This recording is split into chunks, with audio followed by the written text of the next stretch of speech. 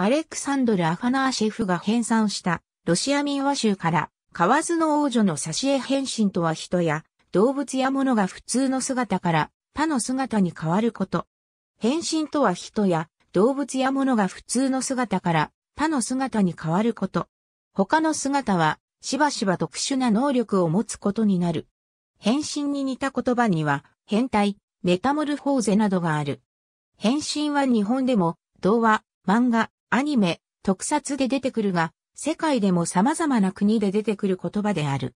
変身譚とは人間が異性や動物や植物などの人間以外のものに変身するという神話、物語、伝説などを指している。その歴史は古く、古代ギリシアからヘレニズム、ローマ帝国時代にかけて多くの物語が作られており、オイディウスの変身物語はその集大成であると言える。近現代にも多く作られており、カフカの変身などが代表的。日本では中島敦氏の三月期が有名。なお、異性への変身は動物、植物、無生物への変身とは趣がまるで異なり、独特の分野となっている。それについては別項で取り扱う。伝承において、一般的な変身する動物は狼男、ヴァンパイア、東アジアの狐、北欧神話のロキ、またはギリシャ神話のプロテウスのような多数の神話の神、女神、悪魔がいる。神にとってあらゆる動物や植物に変身することは普通のことであった。人間から狼へ変身する狼男は有名だが、その他にも人から獣へ変身する生き物を指す言葉として従人がある。英語ではリカントロープの方が多く用いられる。英語において変身を指す言葉は他にもメタモーフ、スキン、ウォーカー、ミミックなどがある。窃盗師、ワーマイナスも人間を意味する古語に由来し、ベアウルフなどのように変身する存在を指す。変身譚はほとんどのすべての文化に見られ、日常でよく目にする動物には大抵関係する変身譚がある。通常は変身の対象になる動物は物語が伝わっている地域に固有の生き物である。人間が他のものに変身する物語と同様に動物が変身する物語も多く存在する。変身のモチーフは古典文学での中で多種多様な方法で現れている。古典文学における変身のモチーフとしては、オウィディウスの変身物語、ホメーロスのオデュッセイア、アプレウスの黄金のロバ、アントニーヌス・リーベラーリス、メタモルフォーシス・ギリシア変身物語集など、多くの例が見られる。神々の中でも、プロテウスは変身で有名である。メネラーオスとアリスタイオスは共に、プロテウスに勝利して、情報を聞き出している。プロテウスの様々な変身に対して耐えることで勝利したという点も同様である。また、ギリシアの神々は変身を罰の方法としても使った。アラクネーは織物の技術に関する傲慢への罰として雲に変えられ、メデューサはアテーナーの神殿でポセイドーンと交わったため怪物に変えられた。だがそれよりも変身は生めかしい冒険に多く持ち出されている。ゼウスは人間の女性に近づくため、あるいは通うために何度も変身している。もう少し穏健なローマの話では、果物の神ウェルトゥムヌスは、老婆に姿を変えて女神ポーモーナの果樹園に入り、求婚した。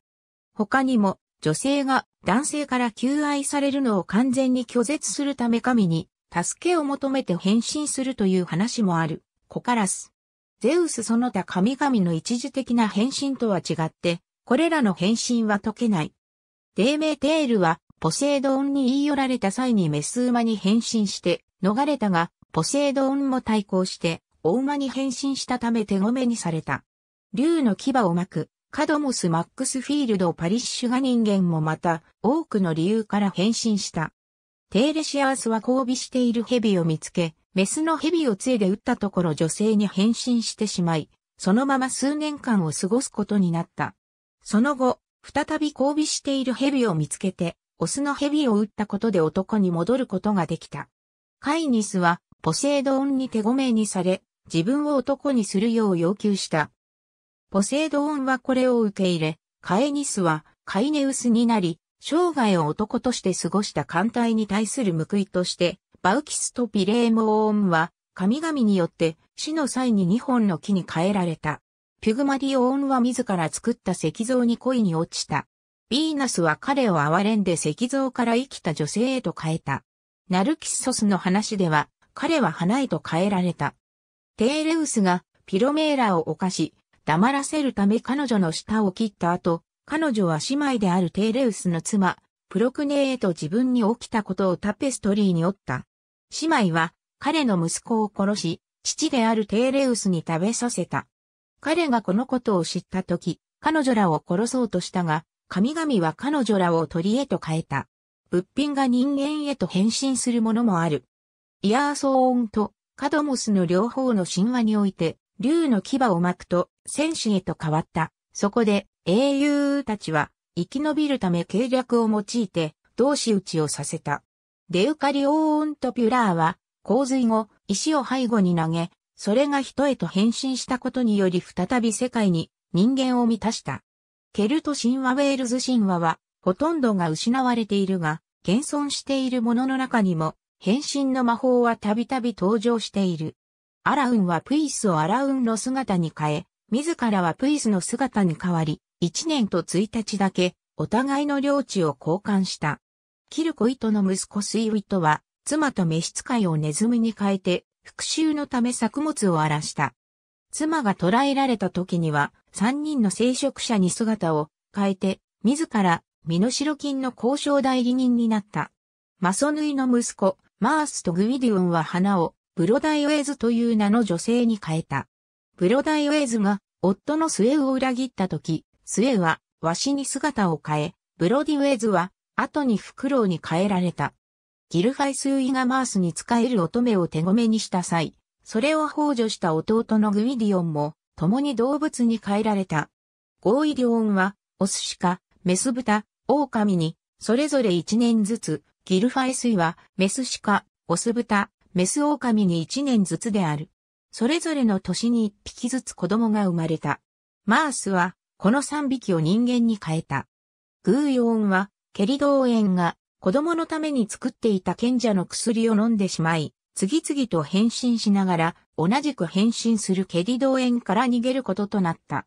最終的に、グーヨンが一粒の麦になり、面取りになったケリドーエンに食べられてしまった。するとケリドーエンは妊娠し、グーヨンはタリエシンとして生まれ変わった。アイルランド神話においても変身譚は見られる。オイフェが養子であるリルの子供たちを白鳥に変えて追い出したという話が有名である。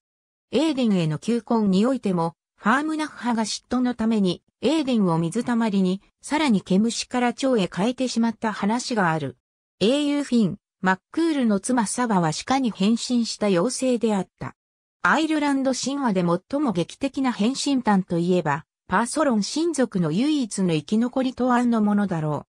う。何世紀にもわたる長い生の中で、トアンは鹿、蛇、ワシを経て、最終的には鮭になり、食われた後に、トワン・マッカレルとして人間に生まれ変わった。英国民間伝承フェアリー、魔女、魔法使いは皆変身能力で有名である。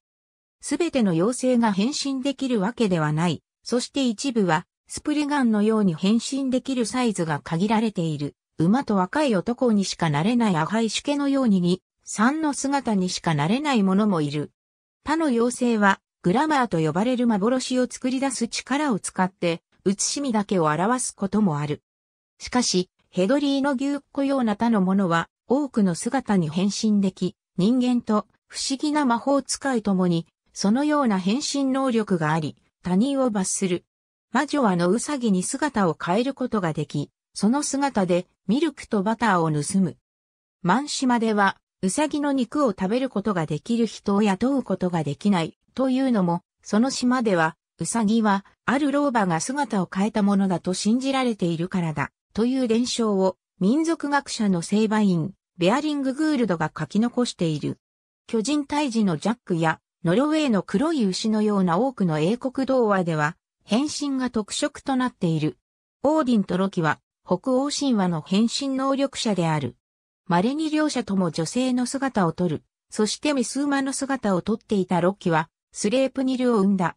ロキの口論では女になったこと、子供を産んだことをお互い馬鹿にし合ったと記述されている。巨人シアチにさらわれた女神、イズンを取り返すため、ロキは彼女を一個のくるみの実に変えて、自分は鷹に変身してくるみを持ち帰った。ヒュンドラの歌で、女神フレイヤは、彼女の愛人、オッタルを隠すために、イノシエと変えた。また彼女は、鷹の羽毛でできた羽衣で鷹へと姿を変えることができた。その羽衣をロキは折々に借りていた。ボルスンガサガは多くの変身する人物が登場する。シュケールの母は敗北した彼の義兄弟をゆっくりと殺していく拷問をで助けるため狼になった。シグムンドは生き延び、彼とその老いであり息子であるシンフィオトリは、狼の皮をかぶった男たちを殺し、彼らは毛皮を処分して、狼男となる呪いを受けたファンフニールは、本来、正しい神話によるとドワーフ、または巨人であったが、すべての異文において、財宝を守るドラゴンとなった。ごく最近の民話において、日世は時々変身すると言われている。なおこの特徴は、フルートラから来ている。スラブ神話では、狼男と他の人から動物への変身者がかなり一般的で、普通はレーシーの行為により生み出されている。中国、日本、韓国の伝承は動物が人間の姿をとるものとして伝えられている。それらに共通した特徴として、動物は長く生き、能力とともに尻尾が増え、しばしば隠していた動物の特徴を出してしまう。またそれらとの結婚、衣類婚姻端が多数見られる。これらの特徴は国ごとに差異が見られる。中国中国伝承は多くの動物が変身し、人の姿で話す物語がある。変身する最も普遍的なのが陽子であり、狐は通常美しく若い女として現れ、ほとんどは危険な存在であるが、いくつかは恋物語のヒロインとして登場している。白蛇伝は、そのような伝説の一つで、蛇が人間の男と恋に落ち、そして彼女と彼女の夫が直面する試練を描いている。日本日本の妖怪の多くは変身能力を持った動物である。狐が最も一般的なものであるが、以下のようなものも含まれる。これらは人間以外にも岩など無機物に化けることがある。また、日本本土とは異なる文化を有する沖縄には、豚が美男美女に化けて人間をたぶらかす話が伝承されている。仏教伝来以後の日本には、輪廻によって人が動物に生まれ変わる話はあっても、生きながら動物その他に変身する話は少ない。古事記、日本書紀やおとぎ造詞には、女性を生きたまま道具に変身させることで、脅威となる存在から姿を隠す話がある。韓国韓国伝承もまた変身能力を持つ狐がある。中国、日本のものとは異なり、組穂は常に悪意あるものである。大抵美少女の姿をとるが、詐欺を企む男が組穂であったという物語もある。組穂は九つの王を持ち、人間になりたいと願っており、その美貌で男を騙して、心臓を喰らう。任天堂のゲーム、ポケットモンスターに変身という技がある。ありがとうございます。